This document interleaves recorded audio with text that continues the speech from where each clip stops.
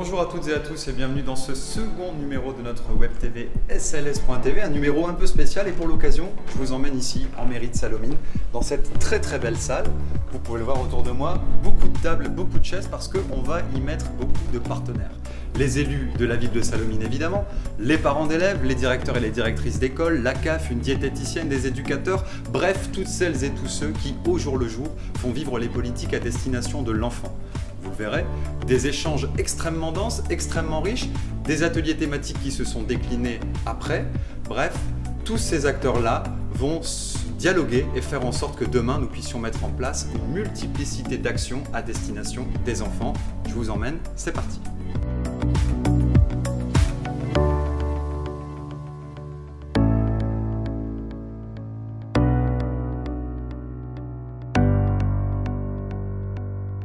Merci à l'ensemble des partenaires, des personnes présentes ce soir et merci encore à vous Madame Dubois qui représentez Madame Depré, donc notre inspectrice sur la circonscription d'Avion.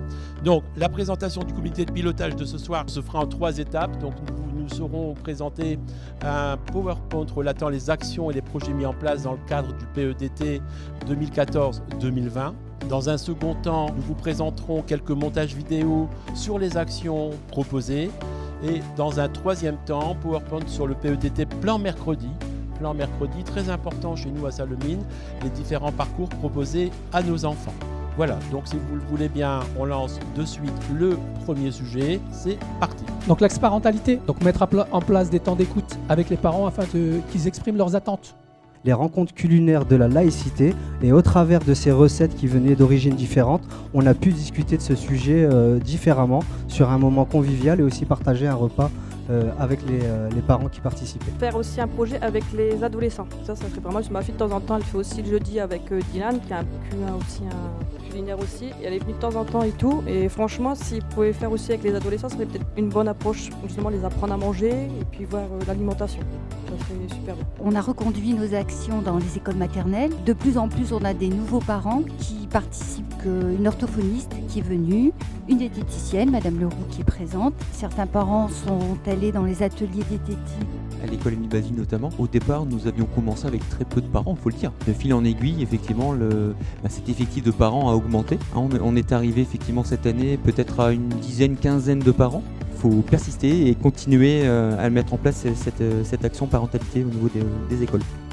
Donc pour continuer à évoquer la mise en place, le renouvellement du plan éducatif territorial, nous avons décidé de nous réunir ici dans cette salle de classe qui est un peu particulière hein, puisqu'elle a été construite cette année. C'est une classe toute neuve, on voit les enfants euh, ont pris un peu leur marque. et c'est aussi voilà, révélateur de l'engagement de la municipalité pour les enfants, euh, pour la scolarité. Nous avons ici euh, aujourd'hui euh, deux invités de marque, Crécy Jurkowski, notre maire adjointe à l'enseignement, et puis David Dersin, qui est directeur du groupe scolaire Basli depuis 8 ans maintenant. Trois grands axes peuvent être identifiés, peut-être que vous pouvez nous les rappeler. Il y a l'axe santé, l'axe citoyenneté et l'axe parentalité. Alors l'axe parentalité, on le sent bien dans les différents échanges que nous avons pu avoir, euh, les parents veulent s'impliquer dans la vie de l'école. Un lundi par mois, il y a un atelier culinaire, culinaire avec une diététicienne euh, qui se déroule à la Maison de la Citoyenneté, une bonne quinzaine euh, à être autour des petits fourneaux pour préparer nos petits plats. Et on, apprend, on y apprend à utiliser certains produits plutôt que d'autres. Donc les bienfaits, pour nous également et pour nos enfants des alternatives au goûter qu'on peut reproduire facilement avec les enfants à la maison.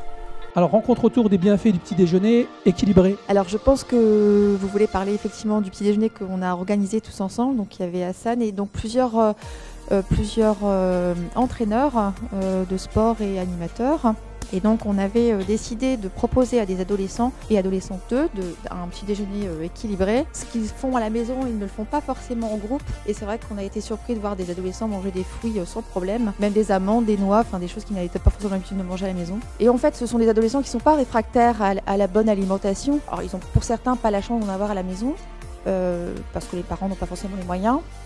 Mais ça leur a, je pense, ouvert un petit peu l'esprit quand même pendant ce petit déjeuner, j'ai mené, on va dire, une petite conférence sur comment manger équilibré avec les principaux défauts des adolescents, les biscuits, le petit déjeuner, les céréales très sucrées, etc.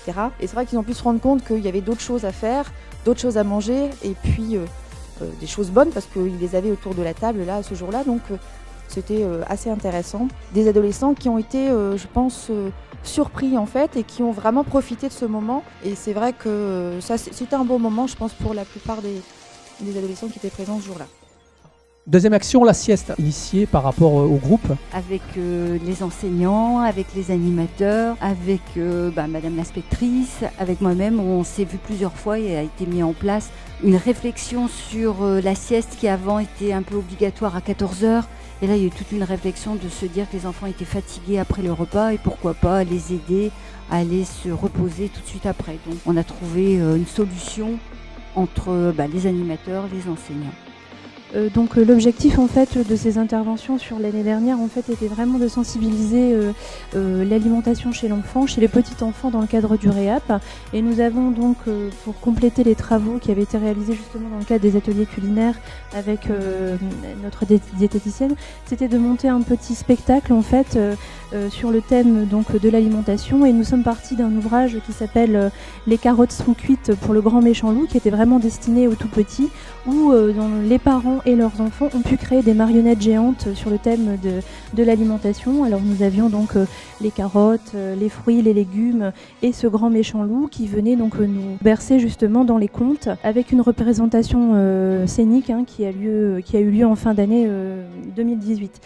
donc dans le cadre du REAP 2019 aujourd'hui, cette nouvelle action santé a vu le jour une nouvelle fois et là cette année nous allons travailler toujours dans le cadre de cette prévention euh, santé, hygiène santé chez le petit enfant sur les accidents domestiques. Tout à fait. Alors, euh, des aménagements importants, des investissements importants ont aussi été faits de la part de la municipalité. J'ai en tête le, SELF par exemple. Euh, sur la question de l'alimentation, du sport, du bien-être, etc., quels sont les projets qui ont été menés ou quels sont les projets qui éventuellement demain seront menés, je pense, sur, sur votre groupe scolaire Basile? Au niveau santé, plusieurs choses ont été, travaillées avec les parents, mais également la municipalité, bien entendu, toujours en partenariat ensemble hein, au niveau du, projet éducatif territorial. Le premier point, c'est euh, au niveau diététique. Et la chose importante également, depuis 2014, le projet de première scolarisation des moins de 3 ans. Donc là-dessus, un gros travail a été fait pour pouvoir respecter le rythme biologique de l'enfant. Un enfant de moins de 3 ans qui mange euh, à la cantine peut bénéficier justement de suite bah, d'un repos bien mérité de sa matinée. Le projet sur le harcèlement en fait consiste en la création d'une pièce de théâtre avec deux classes de l'école Jean Jaurès. C'est un projet donc qui est euh, animé par deux comédiens professionnels. Euh, voilà, donc au préalable ils ont animé des échanges de paroles avec dans un premier temps les deux classes, donc les élèves ensuite avec euh, l'équipe pédagogique et les parents volontaires pour parler de, la thématique. Donc ces échanges de paroles en fait vont nourrir euh, la pièce de théâtre qui finalement va rassembler plusieurs disciplines parce qu'il y aura une partie théâtre, une partie euh, chant parce qu'il y a une création de chœur et une partie dansée sur cette thématique. Donc chaque classe va bénéficier d'environ 30 heures d'atelier avec ces artistes. Et donc la finalité de ce projet, vous pourrez en gros la constater le 17 mai à la MAC. Ouais, donc un appel à projet a été lancé euh, en fin d'année 2018. Euh, il a pour objectif d'équiper chaque école élémentaire de matériel numérique. Donc euh, il y avait quelques axes qui avaient été demandés, donc réduire les inégalités sociales, intégrer le numérique dans toutes les pratiques de classe, développer les compétences du B2I, développer le travail coopératif entre élèves et favoriser les interactions. Donc là aujourd'hui tous les dossiers sont revenus. il y aura deux projets qui seront retenus pour un déploiement à la rentrée de septembre 2019 et les deux suivants courant du premier trimestre 2020. Le projet est actuellement en cours de co-construction avec euh, une artiste qui s'appelle Catherine Sgorecki. Et là, en fait, dans le projet qu'elle propose donc, au centre de loisirs, mais également donc, aux ados du, CAJ, c'est de récupérer des empreintes sonores. Et euh, ce qu'elle souhaite, c'est créer une espèce de cartographie euh, sonore, en fait, une espèce de circuit sonore thématique euh, voilà, de, ces sons euh, du quotidien qui, euh, voilà, c'est une manière en fait de les remettre en fait, on va dire en éveil. Parfois, ce sont des sonorités qu'on oublie parce qu'elles sont perdues dans le brouhaha justement des, des bruits quotidiens et voilà, de garder en mémoire aussi ces sonorités.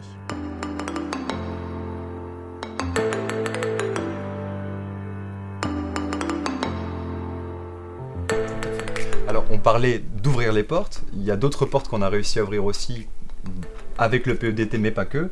Et je sais que euh, vous êtes très impliqué aussi là-bas, c'est euh, à la Maison de l'Art et de la Communication, euh, les ciné goûtés, les différents ateliers de danse, de, chant, etc. qui ont été mis en place. Peut-être on, peut en dire, aussi quelques mots à, ce niveau-là. La municipalité offre également deux spectacles dans l'année pour chaque classe, donc c'est important de le préciser. Et ouais, il y a plein, plein de choses qui se font au niveau de la, de la Maison de l'Art et de la Communication pour pour, pour les parents, pour les enfants, énormément d'ateliers qui, sont mis en place. Dernièrement, j'ai même participé à un atelier euh, Kirigami, donc avec la petite. Et euh, voilà, c'est l'occasion d'ouvrir euh, la MAC à tout le monde. Bah, un grand merci à vous deux d'avoir pu répondre à nos questions. Merci beaucoup. Bah écoutez, il convient de euh, terminer cette rencontre qui était fort intéressante, très enrichissante. Donc un merci tout particulier à Madame Dubois. Merci à l'ensemble effectivement euh, des enseignants des directrices, des directeurs d'établissements de leur présence également. Un grand merci aux parents à nous suivre dans ces projets, dans ces actions. Merci à nos services, merci à mes élus et un merci tout particulier ce soir pour les étudiants qui nous ont donc euh, enregistré, donc les étudiants métiers du multimédia et de l'internet de l'IUT de Lens. Merci à vous mesdames et messieurs. Bonne soirée, bon retour et vive Salomine.